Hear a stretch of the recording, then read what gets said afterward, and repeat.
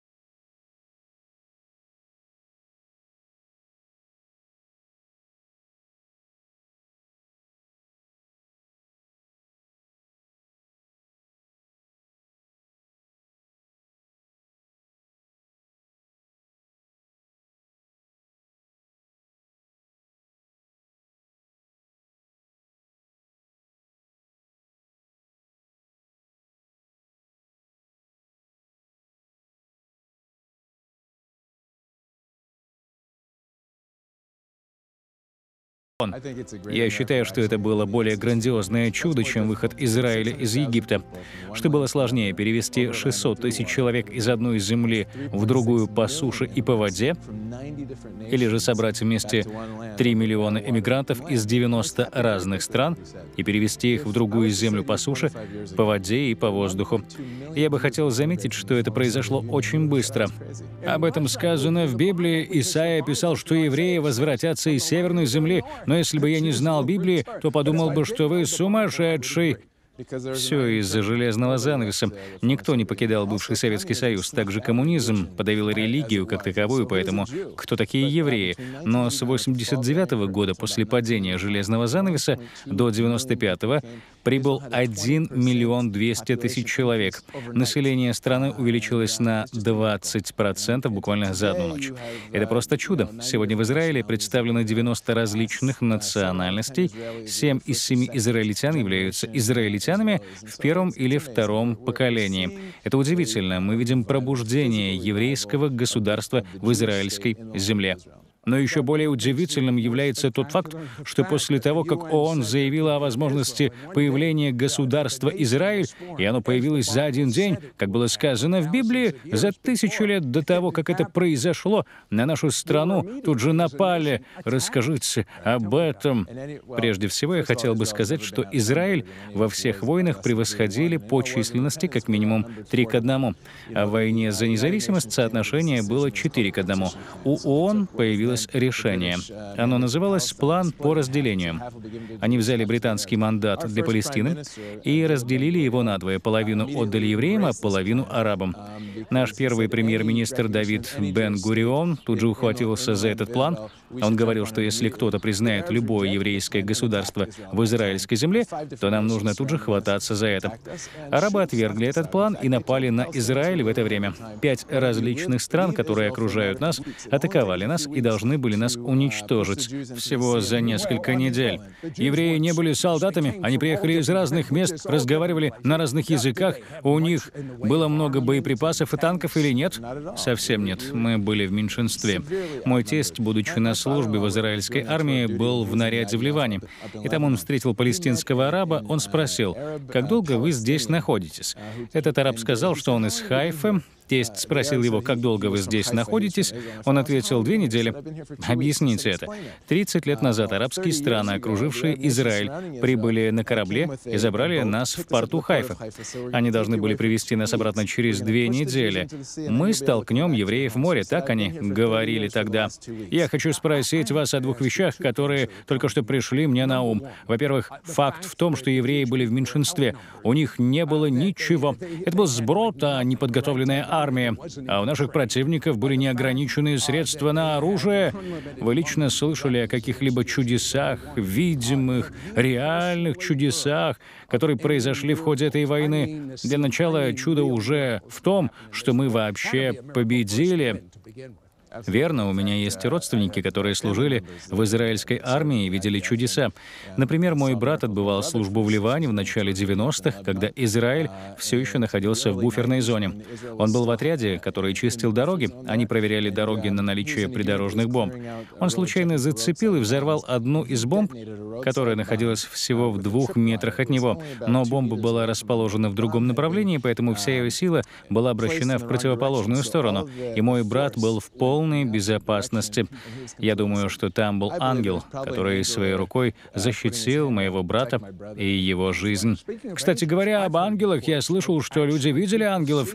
Евреи видели ангелов, которые помогали им. Что вы можете сказать в шестидневной войне мой тесть Арии Бар Давид был со своим подразделением на Синае.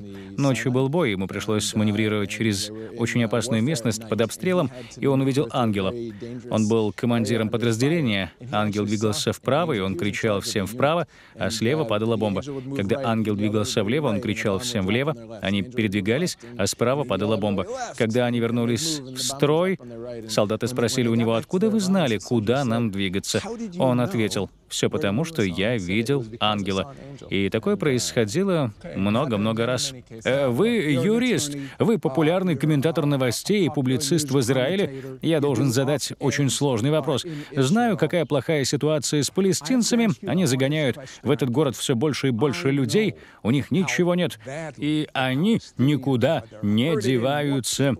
У них множество проблем, а ваше сердце тянется к палестинцам, и вы думаете, ну почему Израиль не отдаст им эту землю? Почему?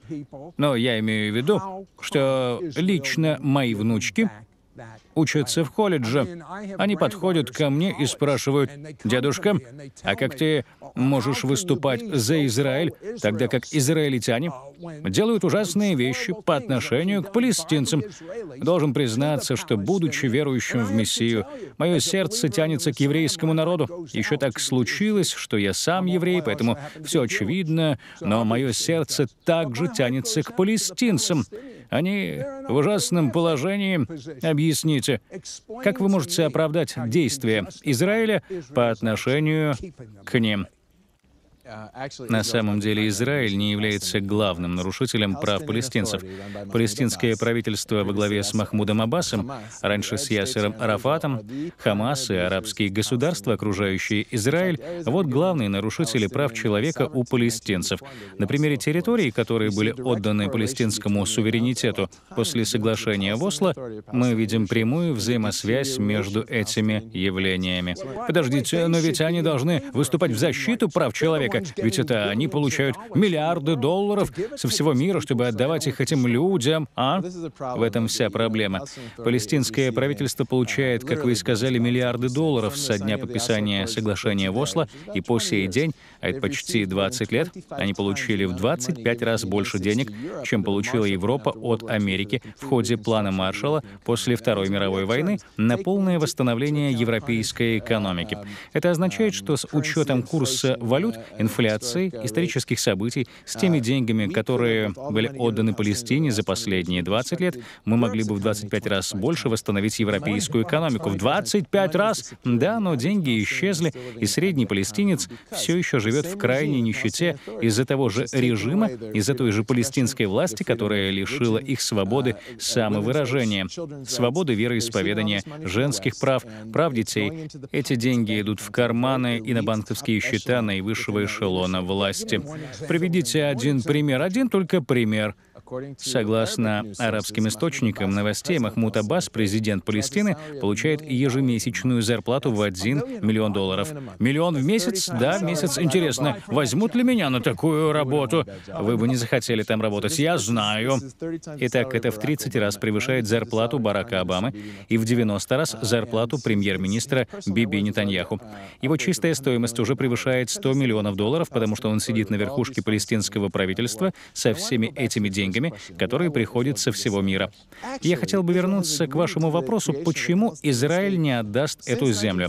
Вообще-то Израиль был согласен с созданием палестинского государства 1947 года по сегодняшний день. Эта тема все время поднимается и поднимается. Проблема в том, что все это время палестинские власти не были согласны с существованием еврейского суверенитета на Среднем Востоке. Нетаньяху говорит, если вы хотите, чтобы мы сели за стол переговоров, переговоров, тогда признайте нас законным еврейским государством. Но они не хотят этого делать. Израиль сейчас говорит о 67 годе. Давайте вернемся к границам 67 года, а наши палестинские коллеги все еще говорят о 47-м. Нам не нужно существование еврейского суверенитета на Среднем Востоке. По этой причине всякий раз, когда мы отдаем какую-то территорию, она становится площадкой для запуска ракет. У меня вопрос. Когда евреи прибыли в Израиль, они прибывали из нацистской Германии, и из имущества у многих из них была только одежда. И Израиль помог евреям встать на ноги. А что делают арабские страны? С миллиардами долларов от продажи нефти для палестинцев, которые живут сейчас в их странах, ожидая восстановления палестинского государства.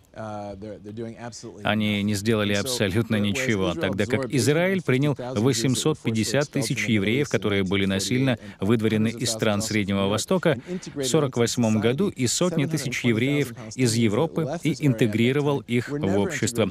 720 тысяч палестинцев, которые оставили эту территорию, в то же самое время никогда не были интегрированы в общество. Они остаются беженцами уже целых три поколения. То есть вы хотите сказать, что они прожили там все это время и даже не могут голосовать? Так что ли получается? Да, я хочу сказать, что за исключением Иордана, во всех арабских государствах на Среднем Востоке, несмотря на то, что эти беженцы арабы, несмотря на то, что они мусульмане, несмотря на то, что они находятся в мусульманских арабских странах, они не могут голосовать, они не могут свободно получить работу. Представляете? Почему? Почему они поступают так со своими людьми? Потому что эти государства используют их как политическую пешку в игре по уничтожению государства Израиль. Они говорят, мы хотим, чтобы Израиль признал правомочным возвращение пяти с половиной миллионов потомков палестинских беженцев с 48 года. Все они вернутся на эту территорию, евреи станут меньшинством в своем же государстве, и на Среднем Востоке не будет больше еврейского государства. Это их цель. Когда вы превращаете человека в пешку, вы делаете его безликим. А когда вы делаете его безликим, то в результате этого процесса люди умирают. То есть вы говорите, что палестинцы, живущие в арабских странах с миллиардами нефтедолларов, находятся в крайней бедности, в крайней умирают от голода. Но почему? Они хотят, чтобы это послужило примером? Или же есть другие причины? На самом деле им нет до них дела. Их волнует только уничтожение Израиля. Такова печальная реальность. Я считаю, что западные страны, которые поддерживают агентство ООН для помощи палестинским беженцам, которое должно заниматься этими беженцами и поддерживать эти арабские страны, должны сделать упор на то, чтобы эти страны интегрировали этих беженцев в свое общество. Поэтому решение кризиса палестинских беженцев — это не право на возвращение, а право на интеграцию. Они должны быть интегрированы в общество так же, как Израиль интегрировал своих людей. Когда мы вернемся, я хочу поговорить о сообщениях, которые читаю в газетах о том, что израильтяне бомбят и убивают палестинцев. Я читаю об этом в газетах постоянно, я хочу знать, а правда ли это? Так что вы узнаете шокирующие подробности. Мы скоро вернемся. Глаза всего мира обращены на Средний Восток. Израиль был вовлечен в серьезный конфликт, ему пришлось защищаться от Хамаса, исламистской военно-экстремистской группы из Газы. Более трех тысяч ракет были выпущены на Израиль с целью причинить вред жителям Израиля. Что принесет будущее? Возможен ли мир? Мы скоро вернемся в программу «Это сверхъестественно». Если вы любите смотреть нашу программу «Это сверхъестественно», то сейчас вы можете смотреть сотни наших архивных программ онлайн, сколько пожелаете, на своем компьютере, смартфоне, iPad или на вашем любимом планшете. Вдобавок к архивным программам вы также сможете посмотреть специальные служения по наставничеству, записанные в медиацентре «Это сверхъестественно» в городе Шарлотт при участии лучших учителей с различными дарами духа. Вы также сможете войти в Божие присутствие благодаря помазанному прославлению, поклонению и молитвам. Зайдите на наш сайт. Эти программы станут инструментом, который поможет вам стать нормальными. Но нормальными, в библейском понимании этого слова, вы будете научены и наделены силой Святого Духа, чтобы ходить в сверхъестественной сфере, как никогда раньше. Вся информация сейчас на ваших экранах. Многие зрители сообщают о чудесах, знамениях и исцелениях, произошедших в результате просмотра программы «Это сверхъестественно». На Рождество в 2012 году я была так больна, что думала, что умираю. Но после прослушивания вашей программы и повторения молитв, которые произносили ваши гости, я была исцелена. Даже мои дети стали ближе к Господу. Однажды они пришли в мою комнату, когда я смотрела вашу программу. В тот день моя дочь начала говорить на иных языках, а поведение моего сына полностью изменилось. Спасибо вам за программу «Это сверхъестественно» и за духовные знания. Я повредил спину и страдал от последствий 34 года. Я смотрел выпуск программы об исцелении, и моя спина была мгновенно исцелена. Спасибо, Иисус. Если Бог коснулся вас через программу «Это сверхъестественно», то напишите нам свое свидетельство по адресу, указанному на экране. Это сверхъестественно. Итак, я читаю в газетах о жестокости израильтян по отношению к палестинцам. Что скажете вы? Калиф Майерс. Мы говорим о чудесах, не так ли? Одно из чудес, которые мы видим сегодня, это демократия в Израиле. Большинство иммигрантов, прибывших в Израиль, приехали из недемократичных стран. Они были изгнаны фашистами или Третьим Рейхом из Европы, коммунистами или из африканских стран, но каким-то образом мы собрались вместе и создали демократию. Это единственная действующая демократия на Среднем Востоке. А по поводу новостей о том, что Израиль плохо относится к палестинцам или арабским гражданам Израиля, вам нужно копнуть немного глубже и узнать все факты. А факт в том, что арабы, живущие в Израиле, имеют самую высокую продолжительность жизни, самый низкий уровень детской смертности, и они куда более образованы, чем остальные арабы на Среднем Востоке. То есть, как вы можете понять из этого, уровень их жизни, а почему же они не говорят о том, как хорошо им живется в Израиле? Некоторые представители арабского сообщества в Израиле говорят об этом, а арабы, живущие в палестинской автономии на территориях, получивших автономию, не могут так свободно выражаться. Если они будут выступать в поддержку Израиля и против коррупции их лидеров, то, скорее всего, они могут быть похищены, избиты и замучены. Некоторые даже исчезают. Это яркий яркий пример отсутствия свободы слова. Так что вот вам вся картина. Ясно. Расскажите мне о жестокости израильтян. Я говорю о бомбах, попадающих в женщин и детей на палестинской территории. Я имею в виду такие вот бомбардировки. Есть санкции правительства против насилия по отношению к палестинцам, кроме тех территорий, которые выпускают на нас ракеты. Вот в чем проблема. Хамас в Газе выпускает ракеты на Израиль со зданий, на крышах которых они ставят женщин и детей намеренно. Как они могут так поступать? Это же их собственные женщины и дети. Они надеются, что Израиль не будет бомбардировать эти здания, потому что там есть женщины и дети, или же что женщины и дети погибнут, а это попадет в выпуски новостей, что приведет к делегитимации государства Израиль. Проблема в том, что наш враг прячется за спинами женщин и детей. Иногда мы вынуждены приходить в жилые кварталы и разбираться с ситуациями, когда нам угрожают жестокие террористы. Но вот что я вам скажу. Никакая другая армия в мире не предпринимает столько мер предосторожности, чтобы сохранить во время военных действий жизни в лагере врага, так, как это делает Израиль. Понимаете? Я никогда ничего подобного не слышал. Калиф, но самый важный вопрос, который я хотел бы задать, это вопрос о чудесах. Он юрист, но он также изучает Писание. Калиф Майерс, расскажите кратко о Божьей позиции по отношению к израильской земле. Я думаю, что причина, по которой мы видим восстановление Израиля, это обетование, которое более 40 раз упоминается в Писании. Бог избрал конкретный народ, избрал конкретную землю и сказал, «Я дам вам эту землю». Самое сильное место, в котором это упоминается, это 104-й Псалом, где Бог говорит, «Я заключаю вечный завет, я даю вам свое слово». Также Он сказал, «Я подтверждаю это клятвой и уставом». Слово «устав» означает то, что высечено на камне. То есть это тот же уровень, что и 10 заповедей. На иврите это звучит как «хох». Он использует все эти слова в одном предложении, чтобы сказать «Вам, Аврааму, Исааку, Иакову, я даю землю Ханаан в наследство навсегда». Если это сказал Бог Авраама, Исаака и Иакова, то я думаю, что это произойдет, и вот почему мы видим все эти чудеса.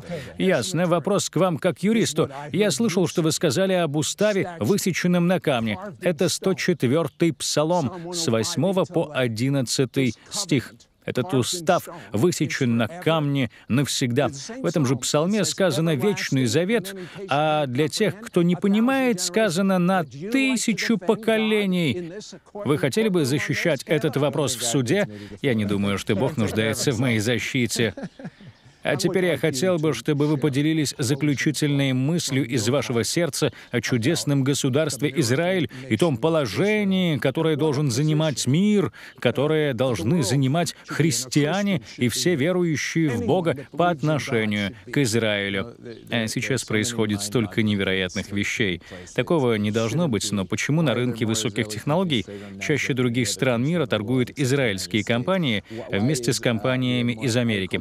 Почему у нас нас производится больше сельскохозяйственной продукции, больше молочной продукции на голову населения, чем в любой другой стране мира. Почему мы издаем больше книг? Почему у нас больше театров, больше оркестров на душу населения, чем в любой другой стране мира? Почему эта страна так благословлена? Почему наш ВВП сильнее, чем ВВП всех 22 стран Среднего Востока вместе взятых? Я думаю, что это потому, что в этом задействован Бог. Если это делает Бог, то я посоветовал вам копнуть бы глубже, не просто слушать новости от международных СМИ, которые зачастую поверхностны и указывают в одном направлении. Копните немного глубже, чтобы узнать, что на самом деле сейчас происходит. Вы когда-то обращали внимание на слово «Иерусалим»? В самом центре этого слова на английском языке есть аббревиатура «США». Интересно, зависит ли будущее США от отношения к Иерусалиму. Любопытно. И еще одна вещь высечена на камне. Это Бытие 12 глава 3 стих. Бог говорит, «Я благословлю тех, кто благословляет еврейский народ, и прокляну тех, кто их проклинает, и в их семени все народы земли, все язычники будут благословлены. Ох, я волнуюсь, но не за Израиль. Я волнуюсь о тех народах, которые открыто не повинуются живому Богу.